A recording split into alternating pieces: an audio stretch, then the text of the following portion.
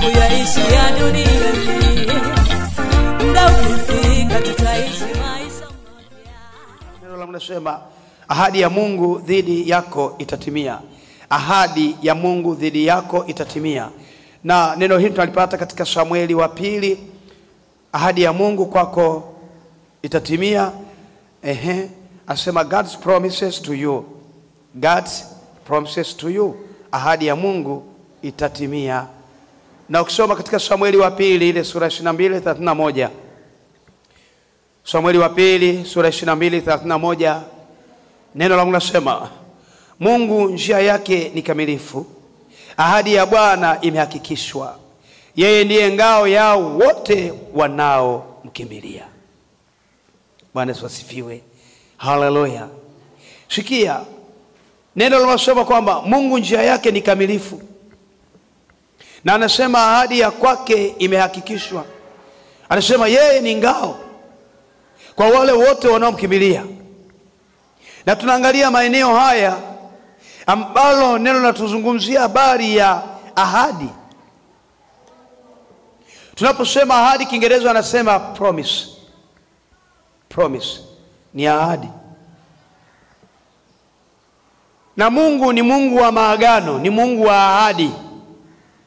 Aliwaahidi wana wa Israeli kutoka utumwani Misri kuelekea kwenye nchi ya ahadi. Tunaona wewe ni msomaji wa Biblia, namna ambavyo wana wa Israeli walipita kwenye magumu, walipita kwenye changamoto. Haikuwa rahisi kutoka utumwani Misri, ila Mungu aliweka ahadi ya kwamba lazima watavuka bahari ya Shamu, watavuka na mto Jordan, hatimaye wafike kwenye nchi ya ahadi. Lakini tuangalie pamoja na mapigo yale ya Farao aliyopigwa yale mapigo kumi, bado Mungu aliendelea kusimama kukamilisha ahadi yake. Farao wazaliwa wa kwanza walikufa wanyama mpaka wa binadamu. Maji yaligeuka kuwa damu kwenye mito yote na mabomba yote yalitoa maji. Vitandani mwao kulijaa vyura, mpaka jikoni kwenye meko kulijaa vyura kwenye masufuria ya chakula. Lengo kwamba Mungu atimize nini? Sema ahadi yake. Bwana Yesu asifiwe. Lakini jamaa likaendelea kugumu mno, lakini Mungu anachotafuta ahadi. Ndio maana nataka nikwambie kwamba Mungu akiwa na ahadi na wewe, hata kama ulimwengu ukajipanga ukazuia, lazima ufanikiwe. Haitajalisha Farao amesimama kiasi gani, haitajalisha Farao amepigwa kwa mapigo kiasi gani, lazima kusudi la Mungu na ahadi ya Mungu itimie kwako. Bwana Yesu asifiwe. Ahadi ya Mungu lazima itimie kwako. Mungu ni Mungu wa maagano. Anaweza akawa amekuahidi kupata baraka. Mtu huyu anatenda dhambi, anaishi kwenye dhambi, lakini Mungu huwa atengoi nini? Ahadi. Sema inakuwaje anafanikiwa? Bwana si mwombaji, Bwana ni mtu wa kawaida huyu, Bwana amerudi nyuma. Aa, Mungu anaangalia, aliweka promise ya kwako, aliweka ahadi na wewe. Mambo mengine ya kujitakasa, kukomolewa ni vitu vingine. Lengo anatimiza nini? Ahadi yake. Daudi alitenda dhambi, alimuua Uria, akamchukua mke wake. Kwa akili ya mwanadamu nafikiri kwamba hata Daudi angeuawa. Unampeleka kamanda wa vikosi, unampeleka mbele ya uawa, achukue nini? Mke. Hivi niambia, kwa akili ya kawaida ya binadamu ingekuwaje? Kisha akamtamani yule binti mzuri, na kwa sababu yeye basi na ana nafasi kubwa, akawaambia makamanda, mpelekeni mbele, apigwe na mishale, auawe, mimi nichukue mke. Hivi naambia kuna kitu kinapiga kelele hapo? Bwana Yesu asifiwe, haleluya. Kwa lazima Mungu anachoangalia, anaangalia ahadi, hakuangalia dhambi ya nani? Ya Daudi akuangalia namna ambavyo alimtanguliza huyu jamaa akida, akawekwa akatandikwa na risasi. alichoangalia ni ahadi, lakini ufalme wake ulifanya nini? Uliendelea. sizungumzi sichochei dhambi. Ah, nasema dhambi ni kitu kingine. Unaweza ukatimiziwa ahadi, lakini uko kwenye dhambi. Unaweza ukawa unapata kila kitu kile ambacho Mungu alipromise kwako, lakini bado kuna dhambi. Lakini Mungu anakuambia ahadi zako nazitimiza, lakini moyo wako na uhitaji. Mambo yako nayakamilisha, lakini bado nahitaji moyo wako, na hiyo ndio promise kubwa ya Mungu kwa mwanadamu. Tunaona Daudi huyu aliendelea kuishi. Na akampa yule mwanamke mimba, mtoto akazaliwa, akaumwa, jamaa likaomboleza. Unaona dhambi inavyofunika eh? Lakini bado Mungu anamwangalia, lakini Mungu alimchukua yule mtoto. Kwa hiyo kilichofanya Mungu aliangalia ahadi aliyoweka kwa Daudi. Daudi alipakwa mafuta na Mungu toka akiwa kijana mdogo. Kwa hiyo Mungu aliangalia ahadi ya mafuta yale ya utoto, hakuangalia utu uzima wa ndoa, hakuangalia tamaa ya uzinzi wake, hakuangalia dhambi ya uzinzi aliyobeba na wivu. Alichoangalia ni ahadi. Naomba nielewe, sipalili dhambi nataka uelewe maana ya ahadi. Hakuangalia umri wa kukua kwake na kujua tabia fulani. Alichoangalia alirudi kwenye agano la kwanza. Kama ni fulani, Mungu huwa anarudi kwenye agano la kwanza la kwako,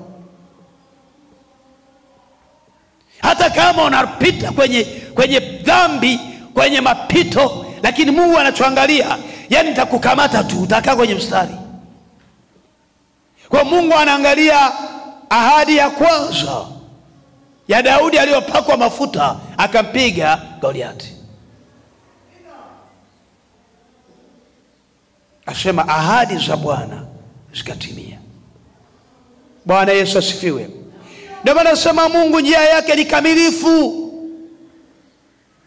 Ahadi ya Bwana imehakikishwa akihakikisha hatengui. Mwanadamu anaweza akakupa ahadi ya kukopesha hela kisha akwambia sina fedha, hata kama anayo, ni mwanadamu.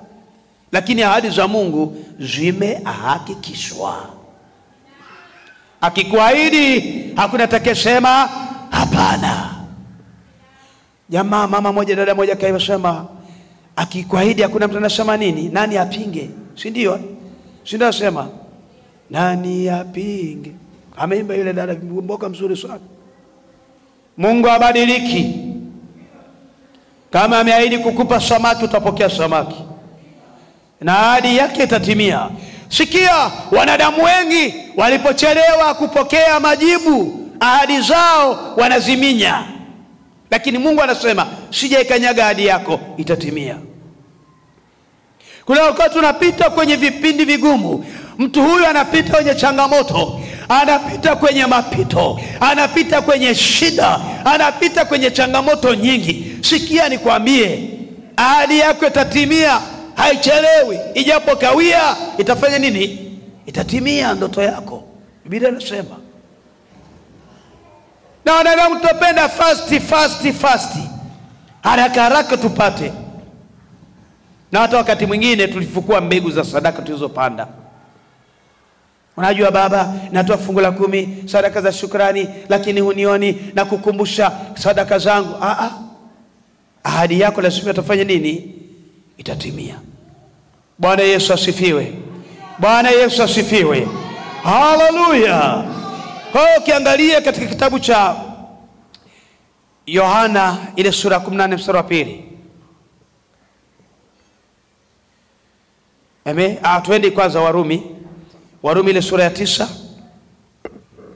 Tuende kwenye kitabu cha Warumi ile sura ya tisa, tuangalie hapo neno la Mungu linatuambia nini katika Warumi ile sura ya tisa na ule mstari wa tisa. Tuone hapo neno linasemaje. Nasema hivi, Warumi tisa tisa, kwa maana neno la ahadi ni hili, panapo wakati huu nitakuja na Sara atakuwa na mwana. Sikia, Warumi tisa tisa. Sara habari yake tunaielewa kwa wale wasomaji wa Biblia, Mungu aliweka ahadi katika umri wake, hakuangalia uzee. Ahadi ya Mungu angalii nini? Sema uzee. Hata kama anatembea na mkongojo, kama Mungu ameahidi lazima litimie. Kwa mwanadamu, mtu anapofikia umri wa uzee hazai, hawezi kubeba ujauzito, lakini ahadi ya Mungu ilitimia kwa Sara, sababu ahadi ni promise. Alisema, kwa maana neno la ahadi hii, panapo wakati huu nitakuja na Sara atakuwa na mtoto na mwana. Sara alipita kwenye vipindi vigumu sana, mpaka mume wake akazaa na mjakazi, mataifa mawili yakatokea pale, lakini Sara alikuja akapata mtoto wa miujiza wakati akiwa na uzee, umri wa uzee. Lengo ni Mungu akamilishe ahadi yake. Kwa ada ahadi ya kwako, hata kama imechelewa, jambo ambalo limechelewa limekuwa kama uzee, limechukua muda mrefu, ni kama uzee. Pamoja na umri huo wa jambo lako kutembea kwa muda mrefu, ahadi ya Mungu itatimia kwako, lazima itimie. Don't give up, usikate tamaa. Usikate tamaa, never. Usijaribu, usijaribu, usijaribu kukata tamaa. Endelea kutafuta uso wa Mungu, endelea kusimama na Roho Mtakatifu ili akutetee katika maisha yako, ili jambo lako liende vizuri. Usoma katika Wakorinto, Wakorinto wa pili ile sura ya saba, tuseme pale Wakorinto wa pili sura ya saba. Wakorinto wa pili ile sura ya saba na ule mstari mmoja tu. Wakorinto wa pili ile sura ya saba mstari wa kwanza anasema, basi wapenzi wangu, kwa kuwa tuna ahadi hizo, na tujitakase nafsi zetu na uchafu wote wa mwili na roho, huku tukitimiza utakatifu katika kumcha Mungu. Asema basi wapenzi, kwa kuwa tuna ahadi hizo, tujitakase nasi zetu na uchafu wa kila aina. Na anasema tukiendelea kutimiza utakatifu, tuweze kufanikiwa katika kila jambo, uweze kufanikiwa katika kuvuka katika maisha yako ya kila siku, na Mungu atakuwa upande wetu, hata kuacha ahadi za Mungu kuona uzima wa milele. Bwana Yesu asifiwe. Na hiyo ndio ahadi kubwa ambayo Mungu ametuachia ili tuendelee kusimama kwenye kusudi lake, tuendelee kusimama kwenye mamlaka yake, tuendelee kusimama katika kila eneo, maana yeye ni Mungu mwenye nguvu, maana yeye ni Mungu mwenye mamlaka. Anataka tuweze kuona uzima wa milele na kuingia katika ufalme wake na kusimama katika kusudi lake ili tuendelee kurithi uzima wa milele katika maisha haya tulionayo. Bwana Yesu asifiwe. Yohana 14:23. Yohana ile sura 14 mstari wa 13 inasema hivi. Bwana Yesu asifiwe. Yohana ile sura ya 14 mstari wa 23 alisema hivi, Yesu akajibu akamwambia Mtu akinipenda atalishika neno langu, na Baba yangu atampenda, nasi tutakuja kwake na kufanya makao kwake. Tumeahidiwa makao ya uzima wa milele. Yohana 14:23 anasema mtu akifanya nini? Akinipenda, akizishika na amri zangu. Kwa lugha nyingine, nitakuwa na ahadi na yeye ya kumbariki katika maisha yake na kila atakalolifanya litabarikiwa, kila atakalolitenda mambo yake yatakuwa mazuri, ili ahadi zako zitimie. Jambo la kwanza, amini, amini, amini ahadi zako unazoziomba. Jambo la kwanza, ili ahadi zitimie. Amini jambo lolote unaloliomba litatimia. Usiliache hewani na henge hewani, Watu wengi sana wameomba maombi yao yana, yana hengi hewani tu, so hawaamini. Amini. Jambo la pili, tubu dhambi zako ili Mungu wetu asikie maombi.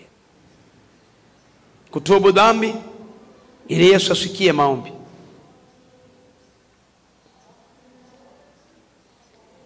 La tatu, liamini neno lake, liamini neno lake.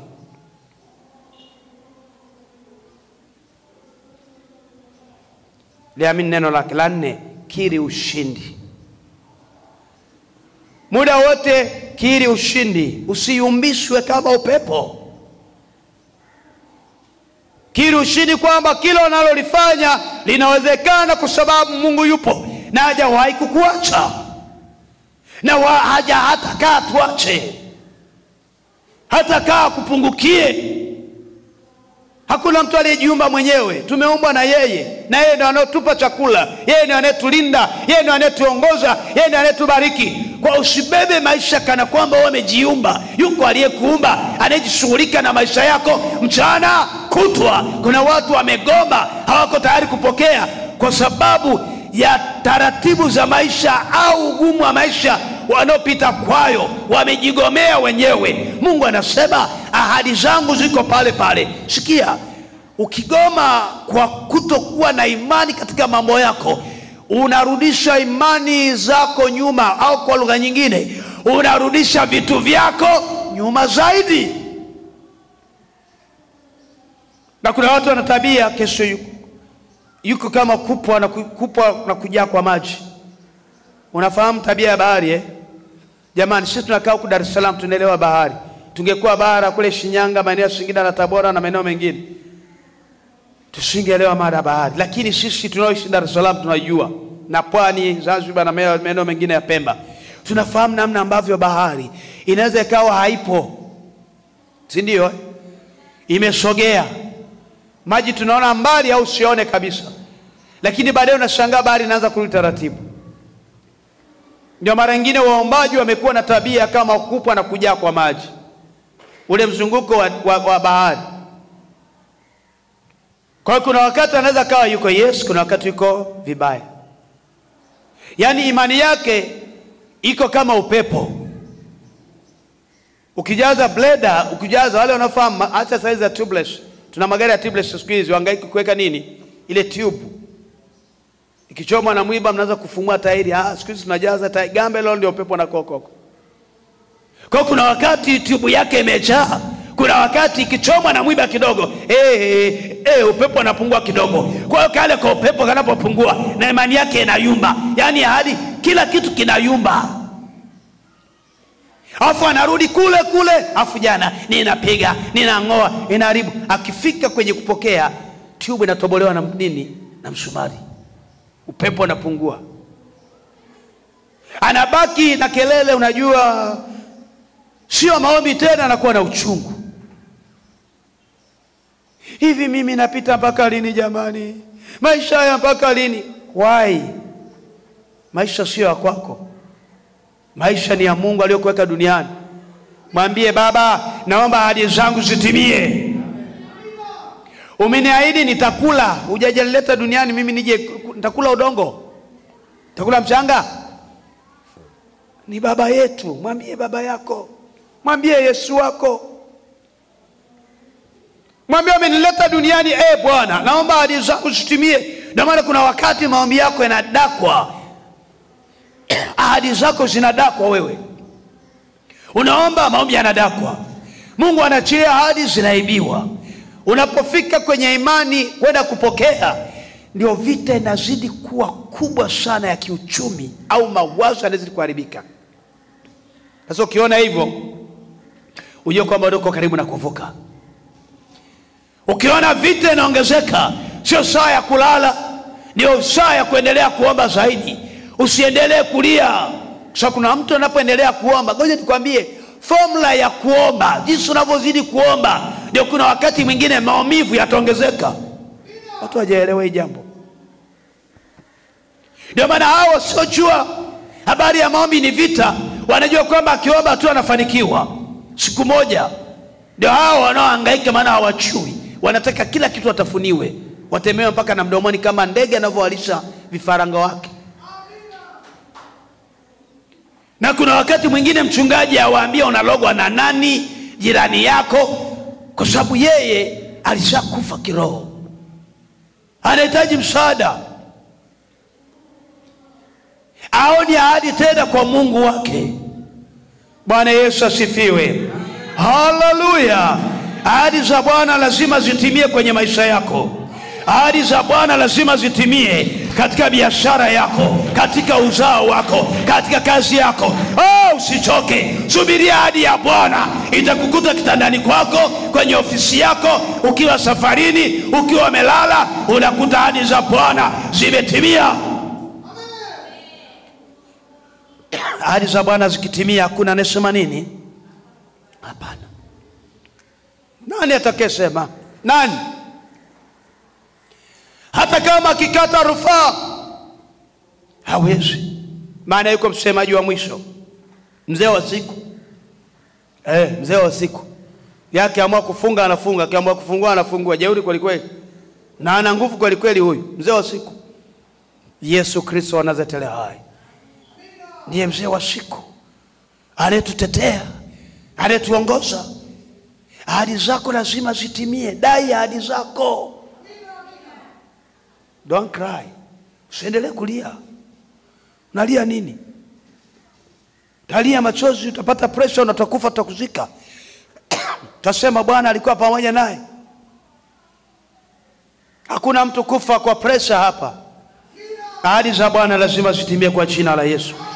Haleluya! Lazima umiliki na kutawala. Kama ungefunguliwa macho ya rohoni ukaonyeshwa rasilimali za kiroho ambazo Mungu ameachilia. Ndio maana anasema nitakuonyesha hazina iliyofichwa wapi? Gizani. Nitakuonyesha hazina iliyofichwa gizani. Fedha yako iliyofichwa gizani, elimu iliyofichwa gizani, uzao uliofichwa gizani, maeneo yaliyofichwa gizani. Anasema nitakuonyesha hazina yako mahali popote, maana shetani huficha. Tabia ya shetani, kazi yake ni kuficha. Anaficha biashara, anaficha mtaji, anaficha fedha. Lazima yuko mtu mmoja mwenye hasira, amwambia Yesu, ahadi zako lazima zitimie kwangu Bwana. Vitu vingi sana Mungu ameachilia, anza kudai, chukua. Yuko mwenye hasira moja atakayesema ninachukua fedha zangu, ahadi zangu Baba aliyoniachilia katika ulimwengu wa giza, ameficha fedha zangu, ninazama, ninakomboa, ninakomboa fedha zangu, ninakomboa elimu yangu, ninakomboa afya yangu. Kuna watu wamefichwa afya zao, wanategemea kufa. Sikia nikwambie, zama koria basaka walikoficha mwili wako ukaukomboe mwili wako. Ahadi za Bwana ziko pale pale. Hujazaliwa ili uumwe, hujazaliwa uteseke, hujazaliwa uwe na mawazo mabaya. Ah, lazima ubarikiwe. Zama katika ulimwengu wa roho, chukua kilicho chako, songa mbele.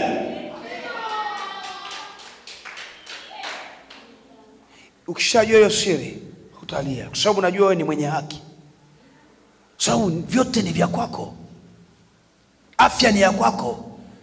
Wanakupokonya hicho kiroho kife, ili usiendelee kuomba. Dai nguvu ya Mungu ingia ndani yako, dai mamlaka ya Bwana Yesu ingia ndani yako, ita nguvu ya Mungu, piga, fuatilia filisi aliyetumwa na aliyetuma, piga unaanza kumpiga wakala ambao ni mwanadamu, maana yeye ndiye aliyetuma, ameku, amekupelekea mashtaka kwa shetani ili kutesa. Unampiga yeye kwanza, aliyetumwa na aliyetuma hizo madhabahu zikutesa, ili ahadi za Mungu zifanye nini? Kuna watu wengine wana mageti karibia saba, kila kienda geti, akifika getini hey, hey, kuna majitu, anarudi nyuma. Waulize wana Israeli, walienda kupeleleza wale jamaa tumeona majitu. Ni vipingamizi. Mungu anataka afike kwenye ahadi, wao wanaona majitu. mungu anataka afike kwenye ahadi wao wanaona majitu. Majitu ni maisha. Majitu ni kuhesabu maisha magumu. Lakini mungu anakuambia kwamba kiri ushindi. Wanasema kukiri kuna nguvu sana kukiri kuliko mwenye mali. Unapoendelea kukiri hata kama una kitu wanasema kunaumba vitu vizito sana katika ulimwengu wa roho. Kuliko fedha ulizo nazo. Kuliko hivyo ulivyo navyo. Unapotembea kwenye nguvu ya nini? Sema ya kukiri. Ahadi za mungu ni kukiri kwako zitimie. Haangalii positive. Haangalii negative. Anaangalia positive kitu ambacho kipo. Unachokiri kwamba nitakuwa tajiri tu. Ukamwangalia mtu yoyote anayetembea kusema kwamba hili limeshaisha hili. Mi shetani tamshughulikia sawasawa mimi ta, lazima nivuke. Kuna watu wao yani napendaga kuna watu kishikia habari zao akiwa anaongea nakwambiaje shetani hata niburuza kiasi hichi na mi nitampeleka kotini tu. Haleluya. Haleluya. Yani anasemaje? Nitampeleka kotini. Yeye sio bendera ambaye mara upepo ukienda hivi naye anageuka huko anasema yani iwe ni atmosphere imechanges climate. Yeye anachojua kwamba lazima nivuke. Usiangalie atmosphere. Usiangalie mabadiliko ya tabia nchi ya kiroho. Usiangalie wanasema ni siku za mwisho kwamba yametokea haya na haya. Sisi tuliokoka siku zetu za mwisho hazijafika tunasonga mbele tunamwita yesu tunasali hatuyumbishwi na wampinga kristo hatuyumbishwi na saa ya majira hatuyumbishwi na roho ya mpinga kristo. Maana tunamtegemea yesu. Atatupa chakula atatupa mavazi atatutunza. Hatuangalie environmental